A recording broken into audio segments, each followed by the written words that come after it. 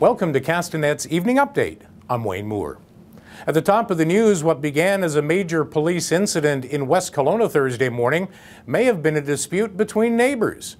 Police converged on the 3100 block of Boucherie Road at 9 a.m. after receiving reports of shots fired. About an hour later, a man was arrested, but later released unconditionally with no charges being laid. The man's wife claims the incident centers around a dispute between her husband and a neighbor. She says they don't have any guns. Police are still investigating. A large wildfire near Lytton continues to burn out of control. The fire, which started yesterday afternoon, is pegged at 500 hectares. Evacuation orders and alerts remain in place.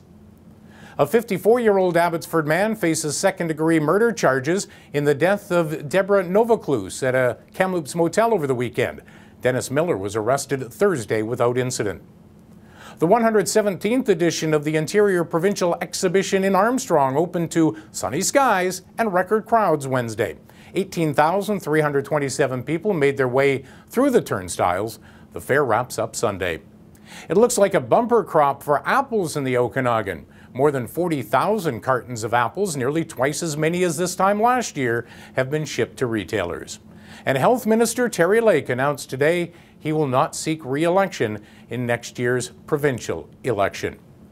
Coming up tonight, a significant enrollment increase faces School District 23, and a Victoria doctor talks medical pot. For details on these and the rest of the day's news, keep it here at castanet.net. For Castanet News, I'm Wayne Moore.